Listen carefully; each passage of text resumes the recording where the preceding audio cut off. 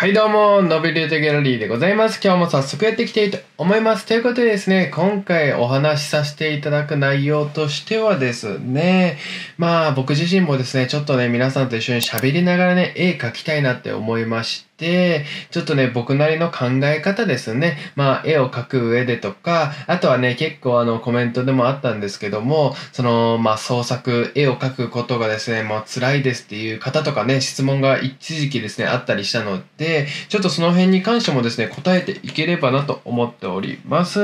まあ、ちょっとね、あの、絵に関してはですね、もう何描くかっていうのはもう僕の右手に任せてですね、描かせていただいてですね、今回はお話中心ですね、皆さんにはね、まあ、ラジオ感覚で聞いていただけると嬉しいなと思っております。まあ実際ね、あのー、まあ絵描く上で、まあ辛いことはあるかって言われたらですね、もちろんあると思います。僕自身もあります。何がね、辛いかって言ったらですね、やっぱり自分が思い描いてるものがですね、描けない時とかね、結構辛いなとか思ったりしますけども、どうですか？皆さんは絵を描く時に結構、わあ辛いなと思うこととかあったらね、ぜひコメントに書いていただいてですね、ぜひその気持ちちを共有していただけるとですね、結構ね、まあ自分しか悩んでないのかなとか思いがちですが、まあいろんな方がですね、同じ悩み持ってるっていう方の方が多いと思いますので、ぜひよかったらね、コメントでですね、まあ勇気あるコメントをね、書いていただけると嬉しいなと思っております。まあ僕自身もですね、まあ大変な時期ね、もちろんね、今でも画力をね、上げていかないといけないなとか思ったりもするんですが、まあ、それ以上にですね、まあ、あの、YouTube で収益化するのをですね、僕は一つのですね、まあ、追加点、追加点、通過点だと思っておりまして、まずそこ行くのが、まあ、辛かったということで、絵に関しての辛いよりも、そっちの方が辛かったね、最初の方はね。でも今収益化することができまして、で、そこに関してはもうね、悩みっていうものはなくなりまして、意外に悩みって言われるものはですね、その時代と時間と年齢を重ねるたびにですね、悩みって言われるものは進化していきますので、まああの本当にこれがですね、効き目あるかどうかわかんないですけども、その悩みってね、もう気づいたら来年とかね、同じ悩み多分抱えてることの方が少ないと思いますので、まあ安心してですね、まあ絵をね、描いていただければ嬉しいなと思います。まああとはね、絵を描いた時にさ、自分のね、画力がね、まああののうまくならないとかね、いう悩みとかもあると思うんですけども、絵はね、やってれば絶対うまくなる。まあそう言ってもね、まあ信じれない方の方が多いと思うんですけども、でもね、あの、毎日ね、絵描いてればね、絶対うまくなるから、これ本当に間違いないと思います。間違いないので、とりあえずは、まあペンでも何でもいいので、その、最初からね、まあ高い画材とかね、買う必要僕はないと思いますし、むしろ買ってですね、諦めちゃったらもったいないなとか思いますから、まず最初はね、本当に100均でもいいですし、もう家にあるですね、多分鉛筆とかシャーペンとかだったら家にあると思いますから、その辺のね、画材からまずは使ってね、絵描いていただければいいんじゃないかなと思います。まあ、僕自身も正直ね、あの、大学入って、で、そして4年生の時にね、あのー、卒論とか書く時に友達と一緒にですね、研究室でたまたま空き時間がありまして、そこにですね、目の前にコピー用紙と、あとはですね、ボールペンがあったんだよね。で、そこで僕がですね、こういう形でですね、紙にね、絵を描いたんですよ。そこがまずね、僕が YouTube を始める前の話になるんですが、そこが本当に僕がですね、絵を描こうと思ったね、決め手でもありましたね。まあ、そこからですね、一時期ね、絵描かなくてですね、まあ僕自身ももともとはですね、ですね、舞台俳優としてですね、芝居をやってたっていうのもありますから、まあ、そこでですね、あの、結構ね、あの、絵描く時間っていうのはなくなってしまったもののですね、また再びですね、このご時世ということもありまして、また家でですね、絵を描き始めて、そして YouTube があるっていうね、まあ今があるって形なので、最初はですね、本当に正直何の画材でも僕はいいと思っております。むしろね、最初のね、あの、画材っていうんですかね、それこだわって、僕ね、あの、こだわりがちなんですよ。正直調べて、あ、この人かっこいいおしゃれなイラスト描いてるなと思ったら同じね画材使えばね絵描けるだろうとか思っちゃうんだよね。僕はねあの皆さんはどうか知らないけどもだから結構揃えがちでよくねスポーツとかも僕もサッカーとか好きな選手がですね使ってるねスパイクとか同じやつとか買ってみてですねこれで絶対自分も上手くなるわとかね思ったりするんですけどもまああの形から入るのも全然ありだと思いますしね。それプラスあとはもう自分次第ですね勉強になってくるんですけどもまああのどうやって勉強するかっていうその独学の話でもありますが、僕自身はですね、その YouTube で、まあ、あの、違うのかな？僕がやってるやり方とですね、多分ね、皆さんが思ってるやり方違うんだと思うんですけども、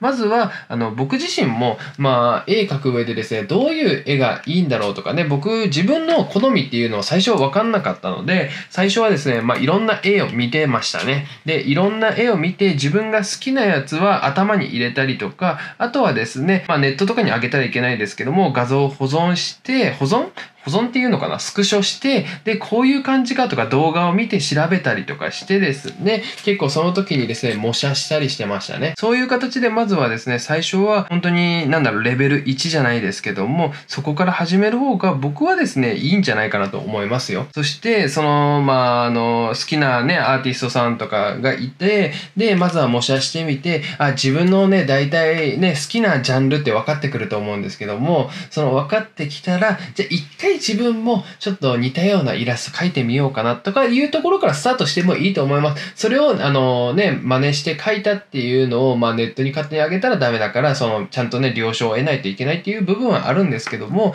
まずね、あの、真似して描いてみるのが一番ね、いいと思う。正直、真似して描くのはいいんだけど、写したらあんま意味ないかな。写してもいいと思うんですけど、その、ペーパーとかね、引いて、それで写して描くっていうのもいいんだけど、まずは見てですね、あの、描いていくっていう方が僕はですね、勉強にはなると思います。まあ、正直どっちでもいいんだけどね。まあ、どっちでもいいんですかっていう感じだね。まあそういう形でですね、勉強していくのが僕は最初はいいと思います。まあじゃあね、それ真似したからって言って自分の世界観で作り上げられるかって言ったら別じゃないですか。で、自分の世界観でどういうことを言うんだろうとか思ったりもするんですよ。僕も正直ね、これがじゃあ自分の世界観なのかって言ったらわからないじゃないですか。でも僕といえば、やっぱりお花とかこういうですね、皆さんね、あの目とかね、思われると思うんですけども、お花とかのイメージがあるんじゃないかなと思いますから、僕もまあ正直書き続けてきたからこのイメージがついてるだけであって、別に僕はですね、このお花を一回しか動画とかであげなければ、多分このイメージないんですよね。でもそれを書き続けたことによって、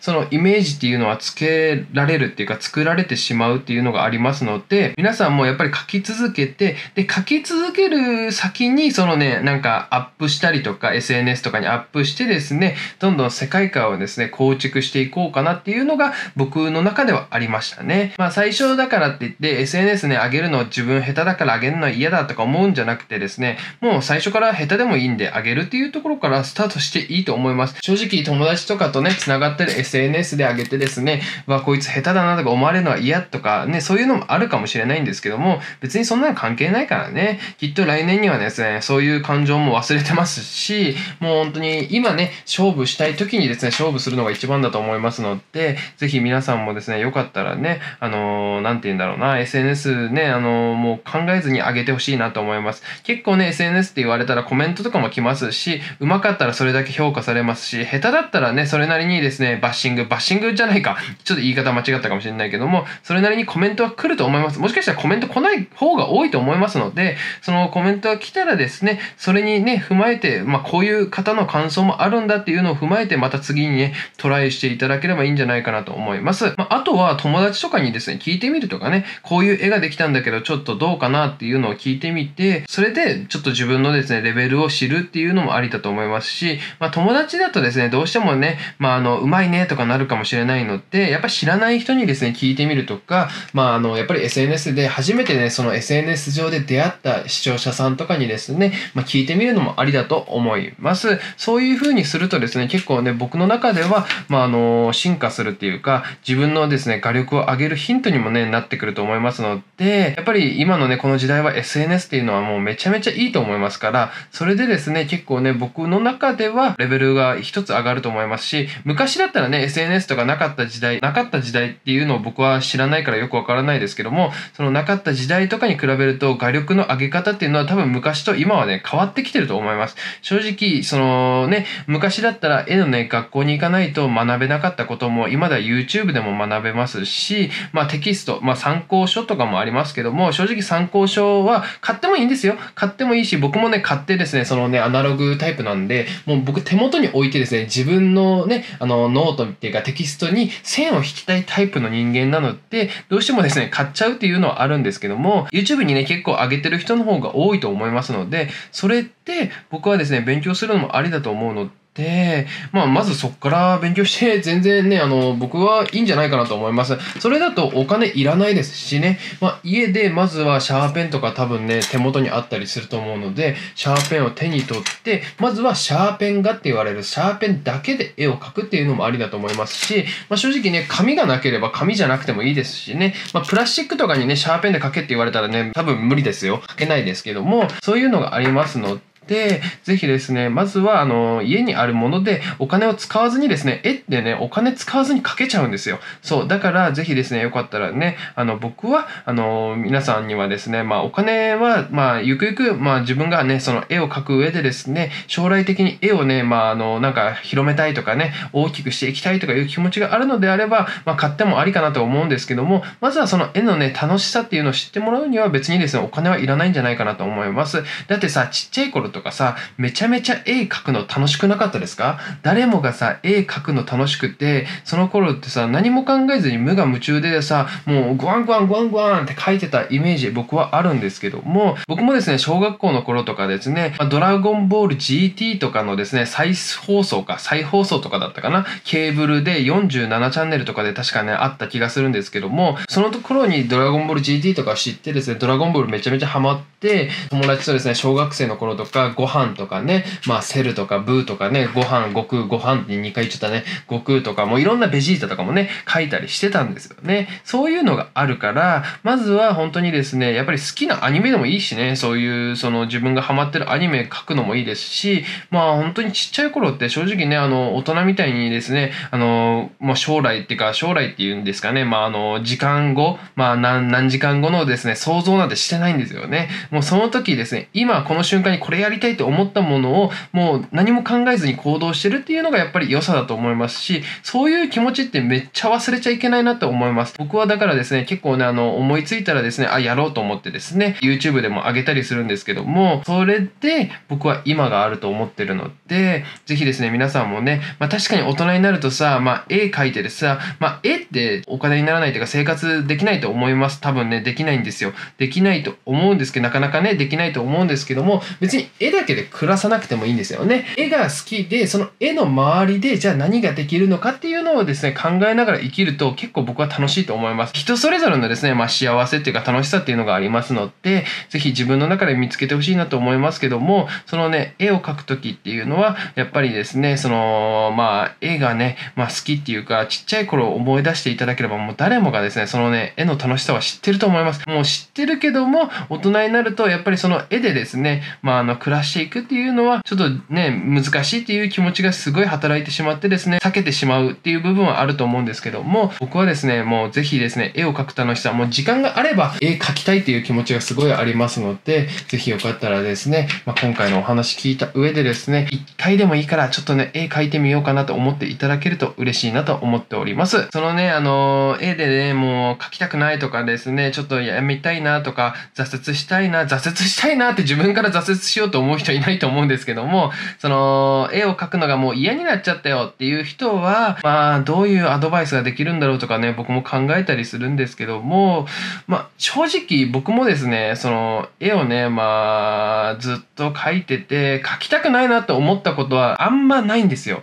僕は YouTube の頃、YouTube の頃で今も YouTube だけども、収益化できる前の話だと結構あったかもしれない。逆にね、その YouTube でやっぱり収益益化できないと、なんか今やってる時間って何なんだろうとかね、思ったりもするんですけども、収益化された後って言われるものは結構ね、絵描きたいなとか思ったりするんですよね。僕の中では結構大きくありまして、で、YouTube 後、まあ今ですね、もし僕がもう絵描きたくないなと思うことがあるのであれば、多分ね、僕ね、一回ですね、まあどうだろうな正直難しいけども、絵がね、まあ描きたくないっていう気持ちっていうか理由ってたくさんあると思ってて、その一つあるとしたらですね、やっぱり自分の画力が上がらないとか、あとは世界観を作り上げることができないとかね、あの悩みがちの方多いんじゃないかなとか思ったりもするんですけども、まああんま考えすぎたらダメですからね。正直僕だって世界観ね、作り上げようと思って、ここまでですね、その自分が好きなお花をメインに、ひまわりくんたちを作り上げたかったら作り上げてないからね。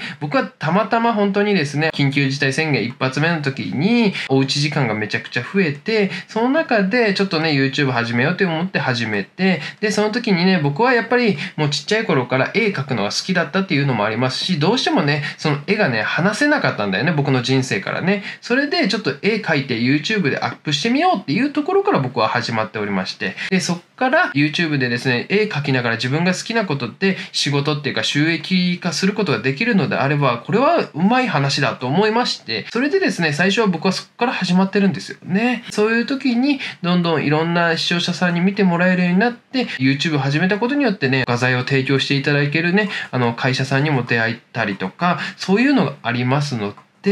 本当に好きなことをね、始めればいいとは思いますが、難しいよね。難しいんだよ。ね、絵描く上でもう嫌になっちゃう時は、アドバイスになってるかわかんないですけど、とりあえず、まあ全然立ち止まっていいんじゃないかなと思います。まあね、こういう形でですね、僕はですね、絵描きながら、基本ね、あの、こうやって絵、ね、描きながら一人で喋ったりしてませんからね。まああの、何してるかって言ったら音楽を基本聴きながらとかですね、絵描いたりしてるので、今はね、皆さんとね、こうやって喋れてるっていう喜びがありますので、喋れてるって言っても一方通行だけども、まあ、皆さんからね、コメントが来たりしてですね、やっと会話が成立してる感はありますけども、こういう形でですね、僕は一人で絵を描いたりもしております。まあ、あとね、何かありますかね、僕のね、今回のですね、イメージっていうのですかね、まあ、イメージね、基本僕はですね、お花と人、まあ、人間って言われるものは似てるとこはたくさんあるんじゃないの？っていうことで、お花を描きつつですね、人間もイメージしてですね、書いてるっていうのが結構僕の中では強いの、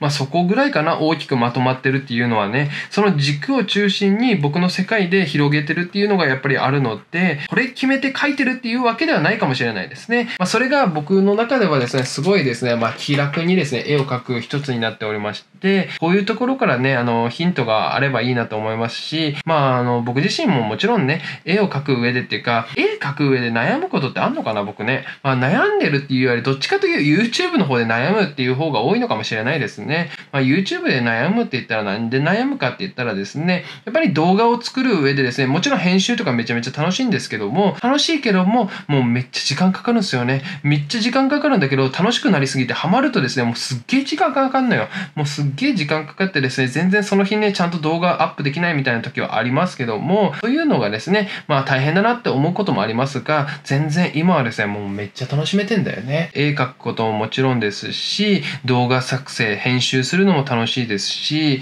まあ、結構僕の中ではですね充実した日を送れてるんじゃないかなと思います。これからねもっとねあの皆さんにですねすごいものをお届けしたいと思いますし僕はですねこのひまわりくんをですねもっと大きくしていきたいんですよね。このひまわりくんたちをですね大きくしてですね僕の世界ではよりですねひまわりくんがいろんなねあの皆様にですね届けられることをですね願って僕はね今頑張ってるってとこがありますので是非ねこれからもね楽しみにしていただけると嬉しいなと思っております。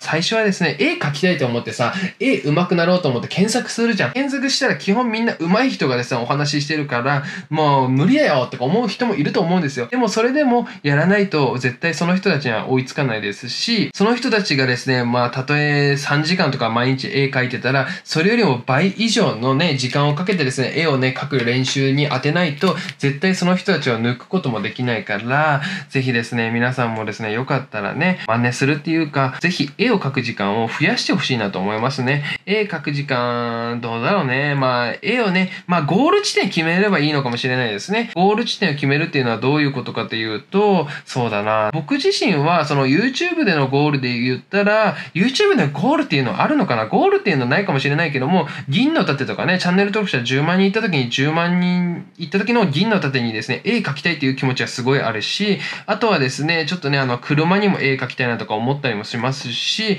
あとは1万人行ってですねまあ今年の目標は1万人なんですよ。その1万人達成してですねもうより皆さんとですね絵の楽しさ広げたいと思いますしそしてですね僕のデザインひまわりくんの世界観をですねもっと広げたいっていうのもあります。そういう気持ちはすごいありますしあとは自分自身も成長していければなと思いますし動画作りっていうのもですねまあ皆さんにねよりあの大きくですねしていければなと思います。そういうのも目標もありますしまあ絵をね描く時のまあ一つゴール。ちっちゃなゴールでいいと思います。まずは1ヶ月目って言われるのは、その絵の基礎の部分を知ろうとかでもいいですし、まずはペンを持って線を引こうっていうところから始めるのもいいですし、別にそんな線引くのをですね、もうやらなくてもいいと思う方は、もう好きなようにこういう形で、僕も好きなようにしか描いてないので、ここにですね、ちょっとね、足とかね、描いていこうっていうか、体のね、一部分を描いていこうっていう気持ちでですね、またお花を描いてるんですけども、そう、こういう形でですね、え、ここにお花とか思うかもしれないですよね。普通足とかかさ、描いていくのかなとか思ったら、ここにお花描くんだとかね、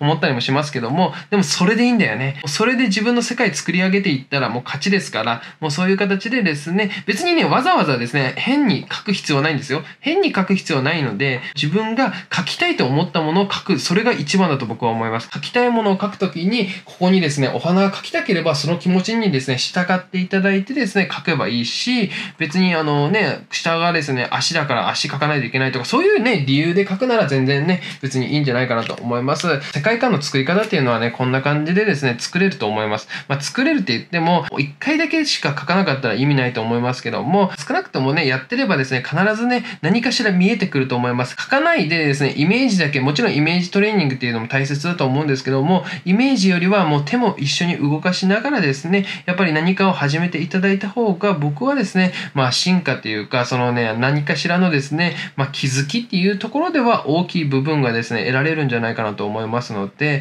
ぜひよかったらですね、そのね、大きな部分をですね、見つけるね、旅に出てほしいなと思います。まあこんな感じかな。僕自身もですね、ちょっとね、絵描きながらですね、久々にこれだけ喋りましたけども、言うてですね、まあ30分以上喋ってるんですよ。30分以上喋ってここしかまだできてないっていうのがありますけども、まあこういう形でですね、絵を描くのもですね、僕はこういう感覚でやってるよっていうのがあります。まああの、今回の動画がですね、全然アドバイスにもなっててないとは思うんですけども、そのアドバイスね、一つでも何かしらですね、あ、こういう気持ちでね、絵描いていいんだって思っていただく人が一人でもいたらですね、僕はそれだけでですね、もうハッピーハッピーでございます。まあ、今回のこのイラストはですね、ちょっとね、違う動画でですね、またね、塗る動画とか上げれればなと思いますので、まあもうちょっと描くんですけども、そういう形でですね、皆さんとはね、一緒にね、また、まあよりね、画力をアップする動画っていうのも上げていきたいと思いますので、ぜひね、これからも楽しみにお待ちください。ちょっとね、今回はですね、めちゃめちゃ長い動画になりましたけども、何かしらヒントがあれば嬉しかったなと思っております。では皆さん、また明日以降の最高のアートの世界でお会いしましょう。明日はどんなアートになるのか、僕にもわからない、そして皆さんにもわからない。だから一緒に確かめていきましょう。では皆さん、ぜひですね、今回の動画ですね、ちょっとずつ見直してみてですね、自分なりにですね、あ、これはもうリアルでもゲームと一緒だと思ってですね、少しずつレベルアップしていければいいかなと思いますので、ぜひ皆さんと一緒にレベルアップしていきましょう。では皆さん、また明日お会いしましょう。バイバイ。ありがとうございました。Thank you です。